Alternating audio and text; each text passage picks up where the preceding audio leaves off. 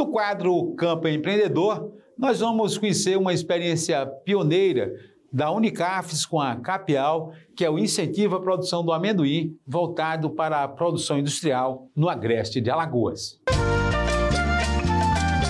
Campo Empreendedor. Oferecimento Sebrae Alagoas. Criada em 1959, a Cooperativa Agropecuária Industrial de Arapiraca, a Capial, é uma das mais tradicionais da região do Agreste na produção de frutas e hortaliças. A cooperativa inovou com a implantação da produção do amendoim na agricultura familiar.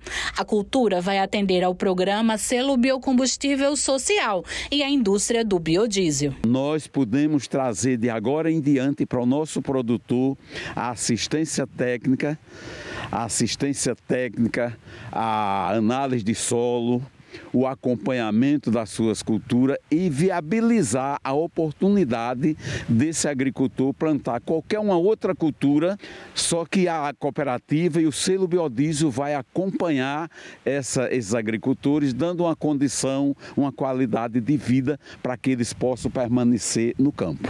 O Adielson é cooperado da Capial e está entre os agricultores que plantaram a semente do amendoim. Aqui ele consegue associar a produção com o milho, o abacaxi, a batata e a macaxeira. Aqui é um experimento, vamos ver a produtividade dele, né? Para a gente expandir mais. Que a gente não tinha essa força, né? Antes era nós e nós. Hoje em dia você pode chegar que nem cheguei na Copeagre, precisei me servir na Capial e estamos sempre juntos, né?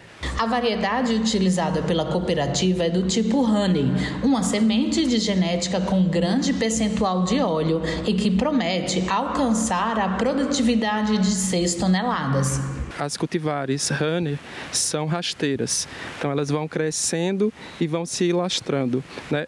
Aqui em Alagoas é, é, cultiva, é bastante cultivado o amendoim ereto. Então ele tem um porte maior, né? Em tamanho a planta é bem maior. Mas essa estrutura rasteira da cultivares, das cultivares honey de amendoim, ela possibilita uma maior produção, porque ela vai é, emitindo os ramos, é, enraizando e também é, em toda a sua estrutura que está em contato com o solo vão sendo emitidos as vagens, né? E, e ela apresenta em produtividade, é, podendo chegar até três vezes mais do que o amendoim ereto. Além da renda extra no final do mês, se realizado o manejo de forma adequada, a cultura pode proporcionar vantagens na fertilidade do solo e de produção com menor custo. A aptidão dela é muito interessante para culturas, para a rotação de culturas, que como ocorre São, no estado de São Paulo, ela entra na renovação de né, como leguminosa. Então ela deixa o solo bem nutrido, fixa nitrogênio ao solo e tem essa parte comercial que é o produto, a venda do produto. Ele apresenta um alto teor é, de óleo, então ela tem uma aptidão para a indústria, né? tanto a indústria de, de doces né? É, e também a indústria de produção de óleo ou biocombustível, que esse é um dos grandes é, entusiasmos né? de trazer essa cultura aqui para a região.